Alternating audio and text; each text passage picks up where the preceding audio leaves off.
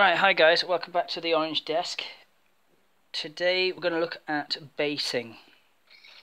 Um, so we're continuing, that's right, continuing with the cultists that I've been building. Um, yeah, with a bit of conversions, added a few extra bits, kind of pitchfork sort of style extras. Um, bags and bits, I showed that in the last video. Today we're going to look at basing, and also I'm going to show you how to sort of get a bit of variation in cultists, um, especially if you've got a lot of them and you don't want to spend that much time painting really individual stuff. It's a problem with human base figures; they need a lot of detail. So here's here's one that's spray painted grey. Let me get the focus right. So so he's base coated grey, and then oh you can see it on the base actually. I didn't paint this bit black so it's like a cheap grey primer from Halford, so it was like cheap, super cheap. And then his, this hood bit's painted black. But his double uh, is basically just all black with brown shoes. You have to do a little bit, well I don't like to, uh, I like to dry brush the little grey bits there. But yeah, so so there's two. They're the same models, but from a distance, they'll look different. On the table, they do look quite different. Another example is the gas mask guy. There you go, same kind of thing. He's spray painted grey with a black hood, which I quite like that look. And then he's just completely black. Also, he's got red eyes, he's got green eyes. You know, little details like that can make a difference. Or like if you do the pendant one on gold, one on silver, you know. Just to get some tiny bit of variation. So there we go. Now basing, that's what I came here to talk about. If you look at this guys, get in focus. There, the basing, we're going to use to get that effect. I did. I used to use uh, GW's textured paints, but they're actually more fiddly than this method that I've come up with. Let me get it out of the desk. So, we get a little tray to, uh, so I don't have to do too much hoovering later on. a little tiny bag of what they call in America kitty litter.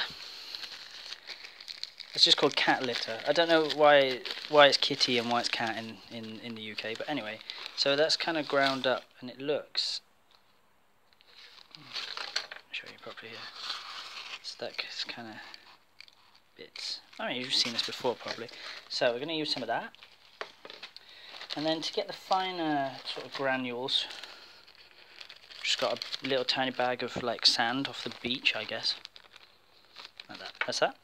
Okay, so now to actually do the sticking, we need glue. I tend to use this just because it's what I got in the house. It's just PVA basically. It's just like strong PVA. Um, yeah, it works pretty well. And once it's sprayed, it looks really good. It dries fairly quickly. I've got some water also just just to give it, just to water it down a tiny bit. That's why I like using PVA actually. So, what I do, take a little converted champion,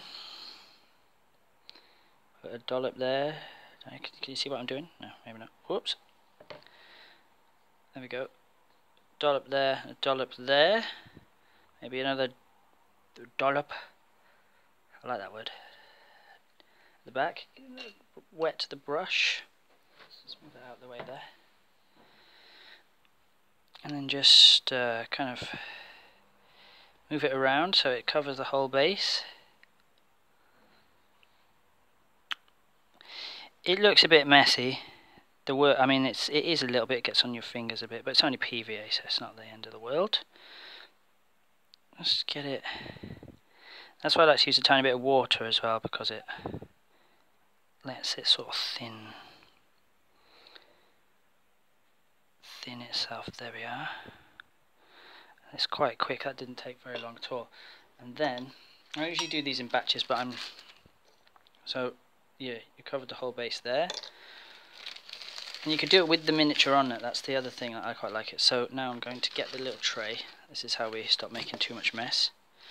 The little tray. We do just a few sprinkles. Sprinkle, sprinkle. That's that. And then we get the sand, which is in this little bag here. And this, this you can add a lot more because it's kind of depends what kind of base you want really but I'm just going for the, the quickest easiest post-apocalyptic style base that I could go for I mean people put like cork and on bigger bigger bases I'll show you look here's the Helbrute so actually I'm, I'm talking about two things so he that's now you see that? That's just that's how it looks now. Like that. And I'll just leave him there pop him down there to dry. Yeah. Uh, but with the Helbrute talking about basing so here's the Helbrute. Those like bigger chunks I mean he comes with this little base his foot is on a base there.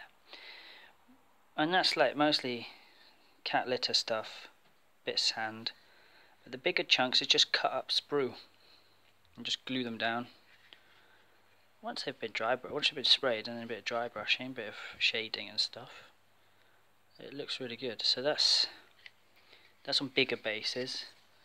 Um, yeah, on on like let me show you here. So on like a really big base, like a flyer base. I mean, so this is the the Heldrake. Let me get that in shot there. Just like cut big pieces of sprue. I mean, people go to town, you could make like a whole diorama on the base of a, there's loads of space there, but, you know, depends how much time you got, and children. So, yeah, that's basing, I'm going to move on, I'll do two, I'll show you with another one, just a little. So again, dollop. dollop at the back. I'll take the brush, we'll spread it. The other thing is the cat litter and the the sand soak up the water. So even if you make it a bit runny and a bit messy, you can just run your finger around the edge of the base to tidy it up afterwards. I don't know if you can see what I'm doing there. That's it. Get a little bits of flecks of cat litter there. Just just a few of that, just just to get some variation in there. And then, well, it's difficult to show this on camera. Sprinkle, sprinkle the sand on afterwards. And there you go. See, it's quick. Look, in under 10 minutes I've done two. If I was using the GW stuff, it takes ages. But that looks pretty good, and then when you spray paint it,